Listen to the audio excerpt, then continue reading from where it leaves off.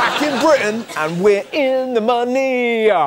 Britain is officially out of recession. The latest figures show the economy grew by 1% in the three months to September. This guy was so delighted he did an impression of a nodding dog.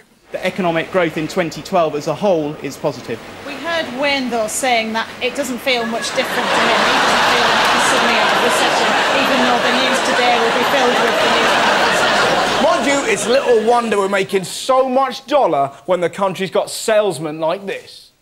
Come on, ladies, come on, ladies.